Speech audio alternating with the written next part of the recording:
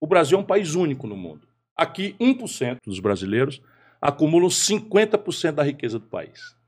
Ou, por outro lado, cinco pessoas têm a fortuna equivalente aos 100 milhões de brasileiros mais pobres de classe média têm. Caramba. Como é que deve ser o sistema de imposto? Eu devo cobrar do mais pobre ou desses cinco cidadão?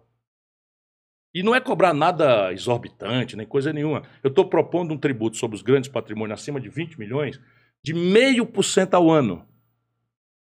A 1,5% ao ano, progressivamente. Acima de 20 milhões. Sabe quantas pessoas eu alcanço? Quanto? 58 mil em 210 milhões de habitantes. Ninguém no mundo tem essa concentração de renda do Brasil. Imposto sobre lucros e dividendos, só o Brasil e a Estônia não cobram. Eu cobrava quando fui ministro da Fazenda. E aqui eu vejo 70 bilhões mais 50 bilhões, aí eu posso dizer de onde é que vem o dinheiro para eu mudar radicalmente a condição do investimento, que hoje está perto de zero.